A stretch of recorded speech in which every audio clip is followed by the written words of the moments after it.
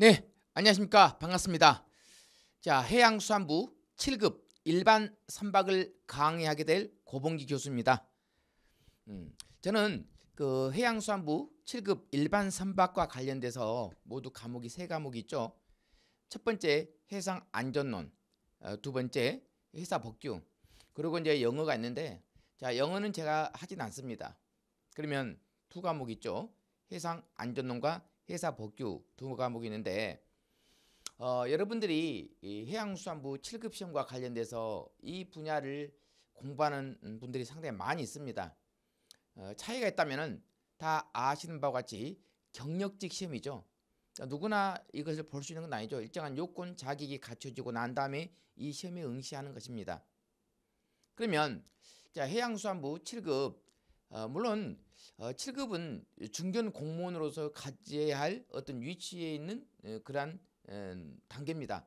9급도 아니고 8급도 아니고 어, 7급이죠. 7급에는 6급, 5급이 있는 거죠. 7급은 하나의 주사보죠. 6급은 주사고 5급은 사무관이고 4급은 서기관이고 3급은 부의사관이고 2급은 어, 이사관이고 그다음에 이제 관리관이 있겠죠. 음. 그런데 문제는 어, 이 시험에 합격을 하려고 하면은 어, 일단 공부를 열심히 해야 된다는 것은 기정된 사실이지만은 학습의 방법과 관련된 그런 노하우도 있어야 되겠죠. 또 국내에 책이 없다 보니까 이 부분을 어떻게 공부할지를 모르는 분들이 상당히 많이 있습니다.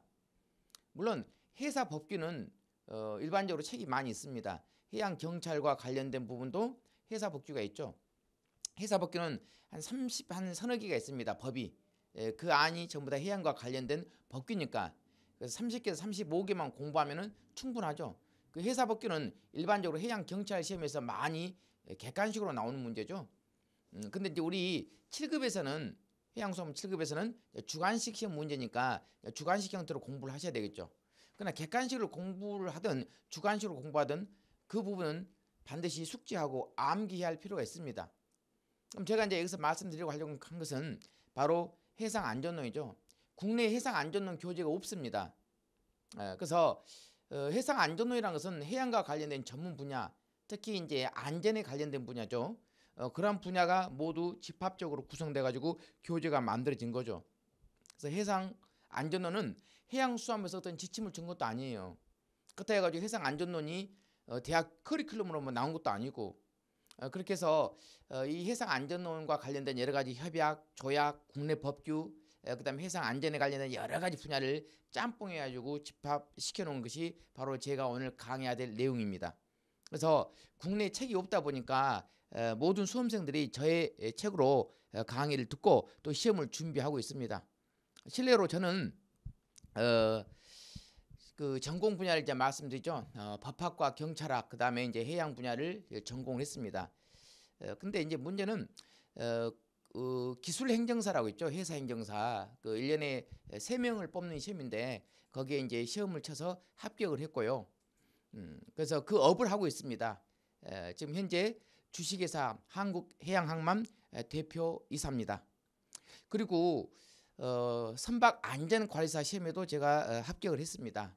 어, 그리고 오래전에 선박 감정사 시험에도 합격을 했죠. 선박 사고 났을 때 여러 가지 감정과 관련된 것. 그래서 전국에서 제가 선박과 관련된 사고, 어, 침몰, 자초 어, 뭐 이런 것뿐만 아니라 어청계, 수산, 해양 항만 이런 모든 분야는 제가 다 담당하고 실제 업무를 하고 있습니다. 그리고 강의도 하고 있고 어, 그러다 보니까 어, 수험생들 입장에서 많이 제가 이해를 하고 또 저도 오랜 기간 동안 공부를 했습니다. 그렇지 않겠습니까? 시험을 많이 합격했으니까 그만큼 많이 공부를 했다고 여러분도 생각해 주시면은 어, 제가 어떤 사람인가도 어느 정도 알 겁니다. 그래서 열심히 강의를 하고 여러분에게 최선을 다해서 합격하는 길로 어, 알려드리도록 하겠습니다. 어차피 저는 강의를 잘합니다. 뭐 여기서 강의 잘한다 못한다 말할 필요는 없겠지만은 어, 강의 타고난 소질이 있기 때문에 어, 상당히 인기가 많았고 그리고 여러분들에게 어, 정말로 어, 신경을 써서 많은 분야를 전달해 드리려고 최선 다해서 노력하도록 하겠습니다.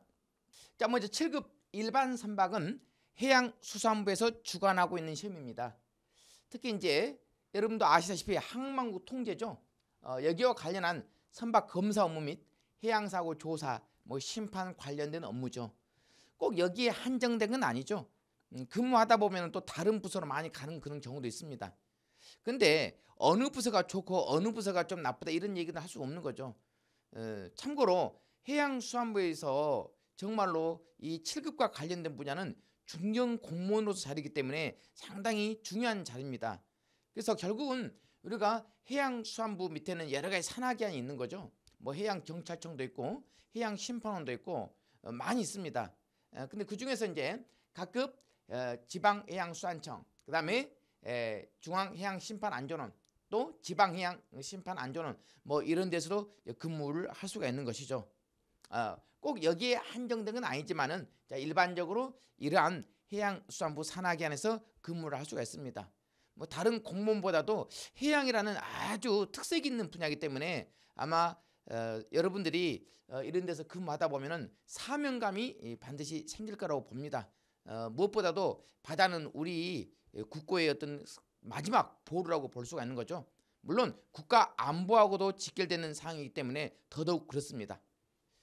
자, 그 다음에 시험 과목을 보면은 자, 영어가 있죠. 영어야 뭐 여러분 다 아실 겁 있죠. 옛날에는 영어가 어떤 자격, 토익이라든가 어, 지텔프라든가 토플 뭐 이런 걸로 해서 대체를 했는데 그 이후에 또 이렇게 객관식 문제로 또 이렇게 나왔던 것입니다. 왜냐하면은 일반적으로 어떤 그 점수로 이렇게 한산하는 것도 좋겠지만은 가독, 어, 당연히 어떤 문서를 보고 파악할 수 있는 어, 그러한 능력도 있어야 되기 때문에 아마 시험이 이렇게 바뀌지 않았나 보는 것입니다. 또 이런 시험이 객관식이지만 또 나중에 또 자격 그죠? 토익이라든가 토플, 지텔프 뭐 여러 가지 거로 또 바뀔 수도 있겠죠. 그러나 현재까지는 그렇게 왔다가 또 이렇게 바뀌었던 거니까 어, 시험의 특성상 어, 영어는 여러분들이 잘 판단해서 아실 거라고 믿습니다. 그 다음 해사법규와 해상안전론이죠. 어, 세 문제 주관식이죠. 음, 근데 문제는 예전에는 논술이나 약술 형태로 많이 물어봤습니다. 지금은 그러진 않아요. 어, 어떻게 물어보냐면은 지금은 문제를 많이 분류를 시키는 겁니다. 가로 넣기도 나오고 그래서 뭐 10점, 15점 해가지고 여러 가지 물어보는 거죠. 그러니까 논술은 없고 아예 약술도 거의 아닙니다. 그 단답식형으로 많이 나옵니다. 약술을 하더라도 간단히 적는 것이죠. 어, 그렇기 때문에 시간 분배를 잘 조절해서 적어 주시면 되겠죠. 그리고 여러 가지 문제로 가로 넣기도 나오고 해석하라. 자, 이것은 무엇인가? 뭐 여러 가지 형태로 물어보기 때문에 거의 객관식에 준한다고 생각하시면 될 겁니다. 객관식은 정답을 찍는 거지만은 어, 주관식은 반드시 서술을 해야 되기 때문에 암기를 하실 것을 제가 반드시 권장해 드립니다. 그 다음 출제 범위는 회사 법규는 이렇게 나와 있죠. 어, 자 우리 국내 회사 법규를 말하는 국제법은 협약은 나오지 않습니다. 그죠? 협약, 국제법, 조약 다 똑같은 말입니다. 자, 그러나 회사 법규는 국내 법규를 말하고 있죠. 그래서 30개 정도만 공부하면 충분합니다. 다 할 필요 없이 중요한 부분이 따로 있기 때문에 그것만 집중적으로 우리가 공부하면 되겠죠. 그다음 해상 안전론, 선박 안전 관련 전문 서적이라든가 선박 해사 안전 관련 그다음에 국내 국제 해사 법규 전반에 관련된 거죠. 그래서 하나의 그 해상 안전은 잡학이죠. 그다음에 협약에서도 문제가 나오기도 하죠. 여러분도 많이 아시다시피 솔라스, 마폴 뭐 이런 거 있지 않습니까? 많이 모르죠. 유엔 해양법 협약 말할 것도 없고 콜레그 국제 해상 충돌 예방 규칙 같은 것도 물어봅니다. 이제 그런 부분도 제가 강의를 해 드리도록 하겠습니다. 자, 이렇게 했고. 자, 그 다음. 자, 7급 일반 선박지 이제 면접 시험이죠. 어, 필기 시험 합격자에 한해서 이제 면접 시험이 있는 거죠. 어, 집단 토의 평가, 뭐 공직 가치관 및 직무 능력 평가로 진행되고 뭐 자기 기술서 이런 것이 많이 있습니다. 어, 제가 이제 보면은 우리 그 공무원 시험 같은 경우도 면접이 있잖아요. 이것도 당연히 공무원이기 때문에 면접 시험이 있는 거죠. 아, 면접이 예전에 보다도 약간 강화됐던 것입니다. 면접에 관련된 부분은 나중에 합격하시면은 면접과 관련된 그런 부분을 제가 언급해 드리도록 하겠습니다. 참고로 어, 우리 그 저도 이제 공무원 시험과 관련해서 많은 강의를 해왔지만은 면접과 관련된 부분은 어, 연습하면 되는 것입니다. 면접도 어, 자주 얘기하고 자주 답변하고 모범 답안이 있습니다. 뭘 물어보면은 그죠? 어, 이렇게 이렇게 대답하고 또 이렇게 이렇게 한다는 그런 대처 능력이 있는 겁니다. 그리고 물어본 말에 그걸로 끝내지 말고 어, 제가 어, 만에 하나 이제 합격해서 근무한다면은 저는 어, 이 분야에서 이런 것을 더욱더 연구하고 어, 좀더 어, 이런 이런 부분을 발전시켜서 좀 어, 우리 부서뿐만 아니라 국가의 아주 귀중한 인재로서 그죠? 열심히 봉사할 것을 다짐합니다. 이렇게 얘기를 해줘야 돼요. 근데 지금까지 면접을 하게 되면은 물어보면은 어, 대충 어, 수험생들은 네 그렇습니다라고 얘기하고 끝내는 건데 꼭 그렇게 하면 안 되는 거죠. 어, 이렇게 하고 나서 제가 만에 하나 근무하게 된다면 자기 포부도 밟히는 것도 좋습니다.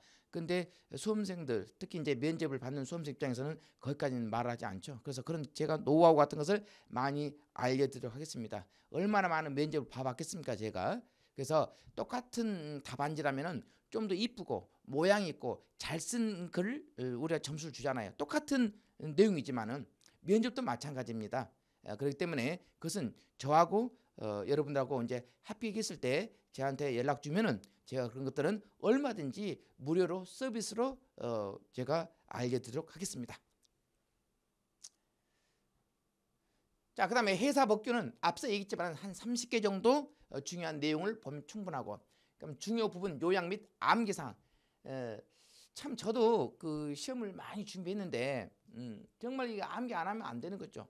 어, 항해 구역에 관해서 설명하세요. 항해 구역이 네 가지가 있잖아요. 그럼 네 가지를 갖다가 암기하고 그 다음에 네 가지 중에서 또 어, 암기할 사항이 있는 거죠. 그래야만 답안지가 서술되는 것이죠. 뭐 그런 것처럼 솔라스 1장부터 12장까지 부속서의 명칭을 약술하세요. 그럼 1장, 2장, 3장, 4장 그 제목을 다 적어 주셔야 돼요.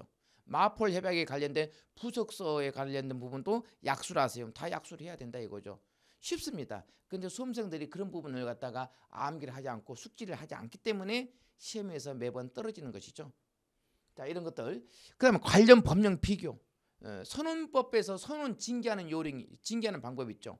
징계 그다음에 또 뭐가 있냐면은 우리 해양 심판과 관련된 법에서 그죠 어, 회기사 징계한다 이 말이죠. 징계 예, 그 징계의 종류가 각각 다 달라요. 서로 비교하세요. 특별 검사와 특별 조사 에, 서로 비교해서 설명하세요. 어, 그러니까 그런 애매모호한 부분도 다 제가 다 해드립니다. 자 그런 것들 그다음에 어, 2024년 뭐 개정 법령 모두 다 반영됐고 25년까지 다 앞으로 포함될 것입니다. 자 어찌됐든 간에 회사 법규라는 과목은 정말 양이 이, 많습니다. 에, 해양 해상 안전론하고 좀 달라요. 해상 안전론은 포괄적으로 이렇게 물어보겠지만은 회사 법규는 아주 주비하게 구체적으로 물어보는 것입니다. 에, 그렇기 때문에 양은 많지만 이 양을 압축할 수 있는 능력도 어, 뭡니까 하나의 스킬, 에, 시간을 절약할 수 있는 방법이죠. 자, 그 다음에 해상 안전론 파트는 자, 국제 협약과 관련된 내용. 자, 국제 해사기구 있죠. 국제 해사기구가 에, 맺은 그 협약 내용이 상당히 많이 있습니다. 자, SOLAS 어, 인명에 관련된 거죠. MARPOL, 자 해양이죠. 환경, COLREG 충돌 예방, 그 다음에 STCW 해기사 선원, 어, 훈련, 당직 근무, 자격과 관련된 거죠. 어, 그럼 Load Line, 그다음에 Tonnage, 그죠?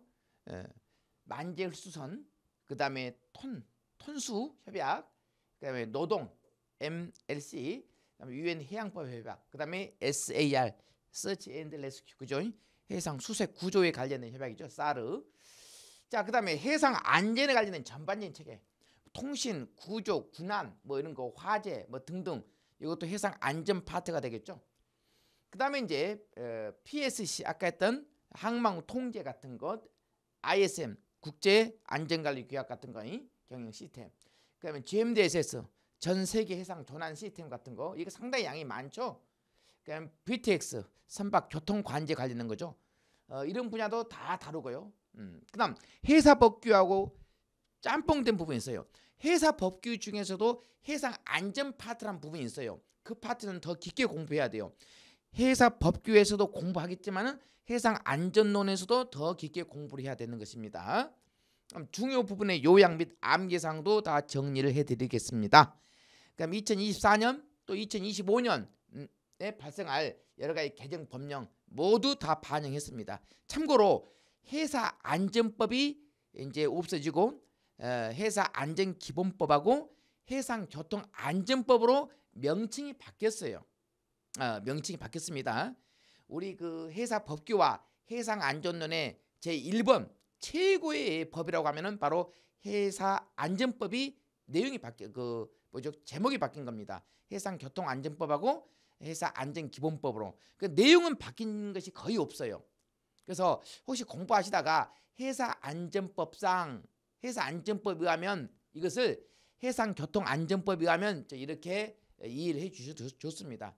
뭐 제가 고칠 부분 다 고쳤는데 그 법의 내용은 바뀌는 것은 거의 없고 어, 명칭이 약간 바뀌었던 거죠. 음, 그 부분만 이해해 주시기 바랍니다. 자, 그 다음에 주관식 답안지 작성 요령인데 어, 답안지 작성 요령은 이렇게 번호를 갖다가 이렇게 매기는 경우가 있겠죠. 그래서 1번, 2번 이런 거 이건 강의하면서 제가 설명을 많이 해드릴게요. 굳이 여기서는 설명할 필요가 없습니다. 우리가 강의하면서 어, 이러는 경우는 이렇게 적고 이렇게 적길 바랍니다라고 가로 1번, 가로 2번 그건 강의 시간에 가끔씩 언급하니까 그렇지만 이제 1번 있고 2번 있으면은 어, 1번과 2번 이거 띄워준 게 낫겠죠. 그 다음에 가로가 하나짜리가 있어야 그, 그 정상인데 그렇게 하지 말고 그럼 물어보진 않아요. 가로 두 개로 이렇게 만들어지면 눈에 확실히 보입니다. 그 다음에 가나 다보다도 동그라미를 동그라미 2로 하는 것이 낫습니다. 한글보다도 목차를 할 때는 기호, 숫자 이런 걸로 적어주는 게 낫죠. 왜냐하면 앞에 있는 말하고 뒤에 있는 말하고 분간이 안 가죠. 가하고 쓰면은 가라는 거라고 앞에 있는 거라고 똑같이 보이거든. 그러니까 동그라미 1과 동그라미 뭐 가로 1, 가로 2 이렇게 놓으면은 구분이 되겠죠. 자 그렇게 해 주시고 그다음에 1번과 2번 띄워 주시기 바랍니다. 예. 그리고 여기서 여기까지 빡빡하게 적으면 안 돼요. 여러분 답안지 같은 경우는.